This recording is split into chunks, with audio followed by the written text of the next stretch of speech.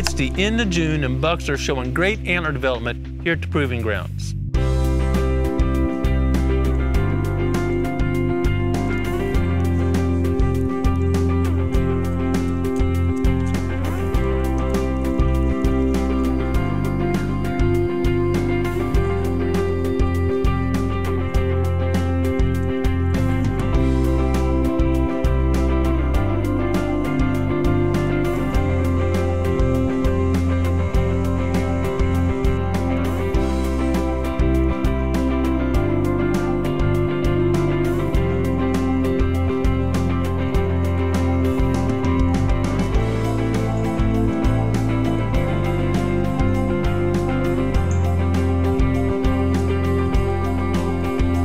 This makes me very excited for the opening day of deer season, and I've been using the off season to prepare.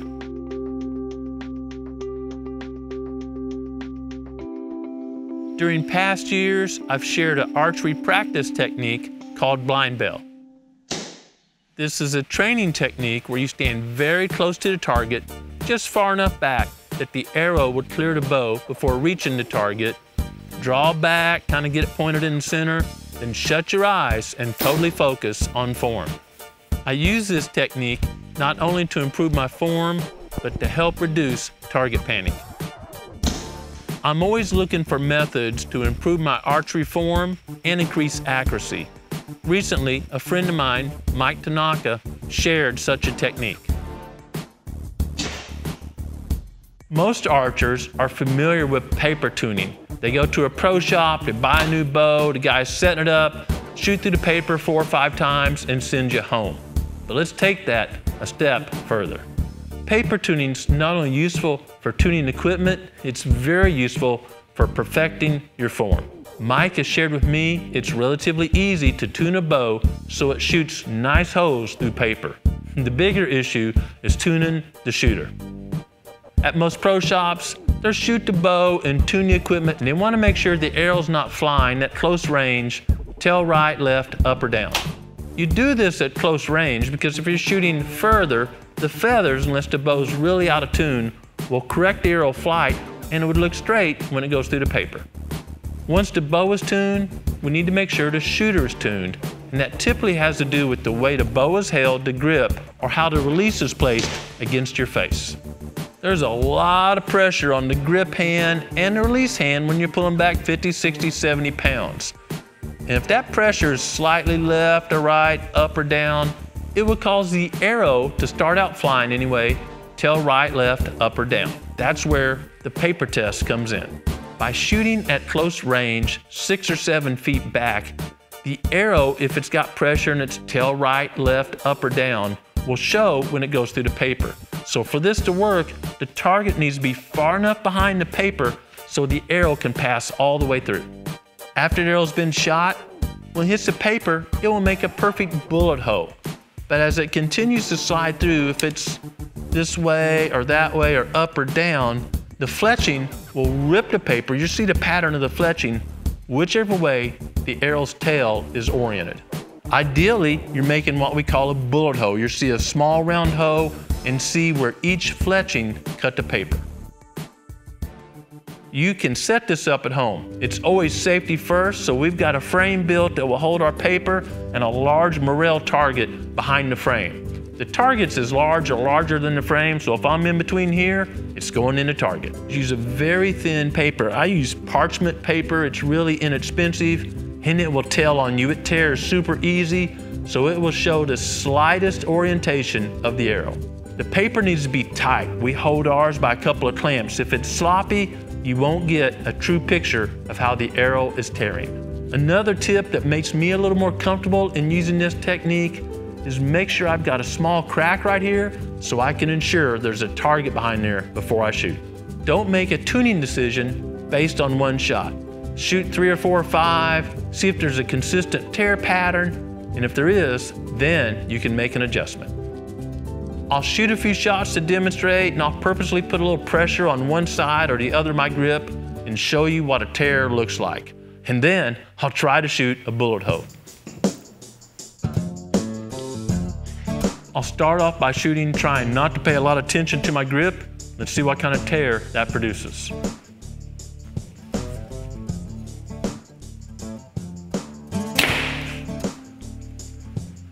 Took the first shot and let my face push into the string a little bit and the results are obvious.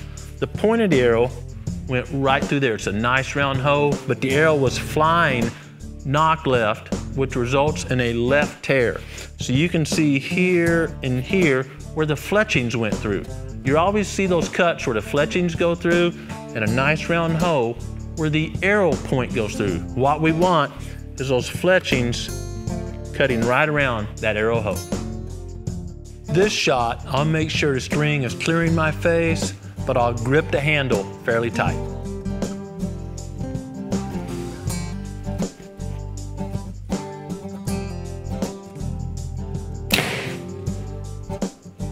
Woo!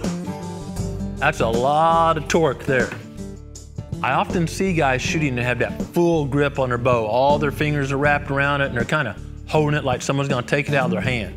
This is often the result. The point of the arrow went in here, clean hole, and it tore an inch and a half or more over here. You can see where the fletchings went through. So that arrow was flying at a very steep angle, making a lot of noise, obviously, and losing efficiency. Now, it would correct itself downrange, but by that time, the deer's probably heard the arrow and maybe started to react. Third shot, well, I'll try to shoot with a good grip and no face pressure.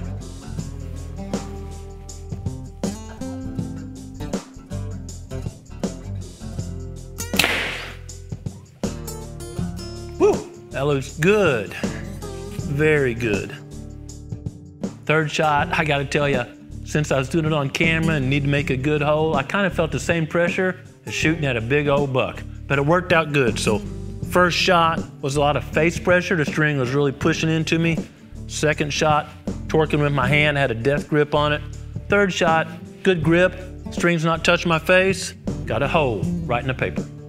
When the bow is tuned and the shooter is tuned to producing results like this, well, that means all the energy is right behind the broadhead. You can shoot less pounds and get greater penetration. And it's gonna be a quieter arrow downrange, less of a chance that deer's gonna drop before the arrow gets there. Growing Deer is brought to you by Bass Pro Shops and Cabela's. Also by Reconyx, Redmond Hunt, Eagle Seed, Nikon, Winchester, Lacrosse Footwear, Flatwood Natives, Morrell Targets, Hooyman, Hooks Custom Calls, Montana Decoy, Summit Tree Stands, Drake Non-Typical Clothing, RTP Outdoors, Yamaha, Fourth Arrow, onX Hunt, Scent Crusher, Mossy Oak Properties of the Heartland, Scorpion Venom Archery, Bloodsport Arrows, Code Blue, Decode, G5 Broadhead, Prime Bows, and Redneck Hunting Blinds. I've learned a lot from using this technique and I will continue it throughout the summer before my regular practice sessions. I believe the instant feedback helps me reduce target panic and makes me have much better follow through. As I start shooting outside more and stepping back to further distances, I'll be sharing additional techniques. The Growing Deer summer interns, Owen, Hunter, Taylor, Patrick, and Tanner, have been doing a great job improving the habitat here at the Proving Grounds and along the way, getting some incredible experience that will help them throughout their career. A few weeks ago, they were spot treating Sericea lespedeza. This is a very invasive exotic plant. It was brought into the United States decades ago and turned out to be a real pest. And it's a very invasive species. It's spread in places it shouldn't be. In fact, I don't think it should be anywhere. Livestock rarely browse it, Wildlife don't use it. The seeds are too small for wildlife species to consume. It's a nasty pest. It's relatively easy to control with a strong mix of glyphosate. But the problem is, it makes a tremendous seed base, and you end up treating it for several years in a row, killing the above ground plants, but then coming back and treating seedlings that come from the seed base the following year.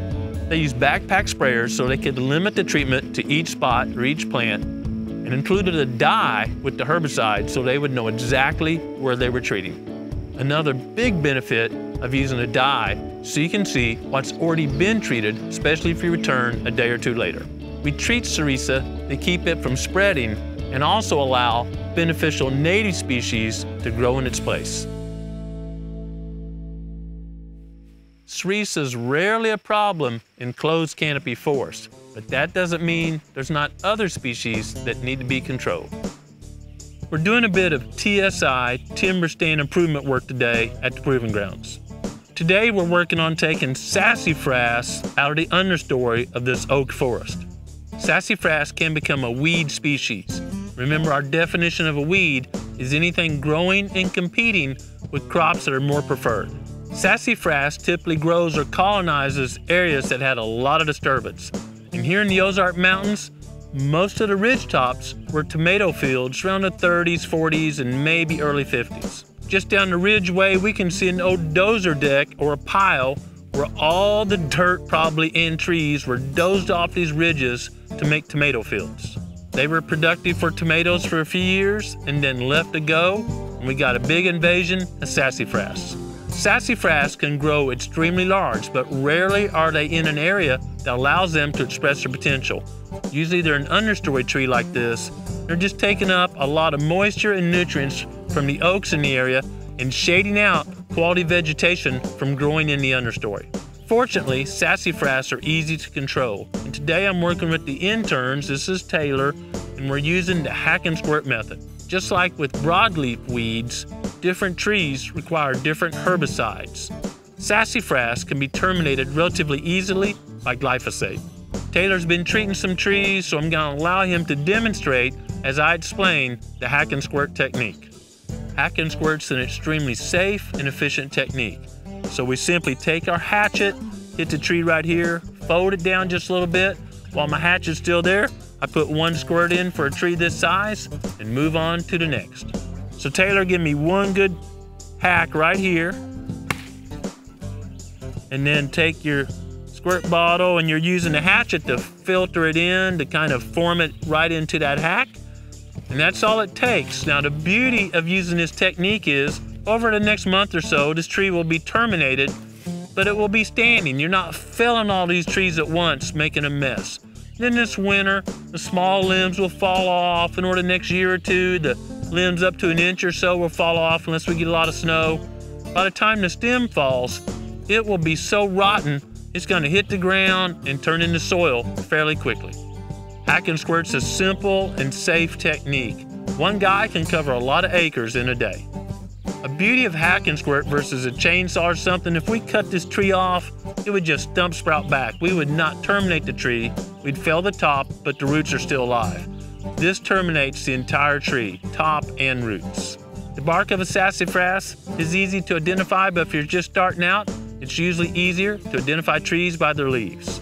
You want to make sure you're terminating the right tree. You don't want to accidentally hack a white oak or something that's preferred for that site.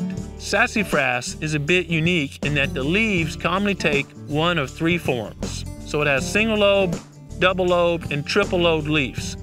But the color and the triple lobes are usually the most common. They're easy to identify. I've talked way longer than it takes to terminate a tree. We're just gonna watch Taylor go through here and hack four or five trees in this area, and you can see how much progress one guy with a hatchet and a squirt bottle can make.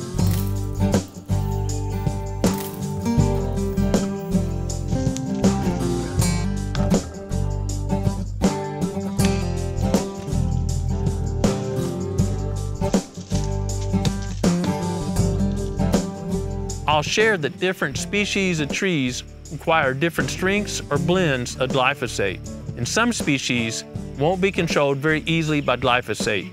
Trees like maple usually require a different herbicide. I've used a hack and squirt technique here and on clients' properties for years, and I'm pleased with the results. Several weeks ago, I shared we calibrated our Genesis drill to plant a garden. This wasn't a typical garden, I had 20 plus different species of garden varieties we planted directly into a standing crop of Eagle Seeds Fall Buffalo Blend. This morning, I checked on the Buffalo garden and I was pleased with what I found. I'm standing in a bit of an experiment. Last year at this same location, I drilled a garden. It turned out okay, we got some produce out of it, but I put the rows at 15 inches instead of seven and a half. So this year, learning from that mistake, I did the same thing. I calibrated, but I didn't tape off every other row. So I planted them at seven and a half inch spacing. And as you can tell, it's plenty thick. There are very few weeds coming through from the mulch of the fall buffalo blend and that all the garden species are so close together, not a lot of sun's reaching the ground to allow weeds to grow.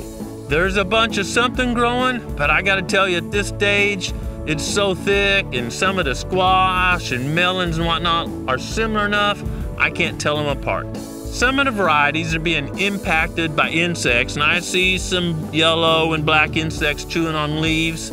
Others are doing great. Over time, I hope to learn which garden varieties work well in this system and which ones don't, because it's much easier than going over here and tilling soil or doing something and planting each seed down a row.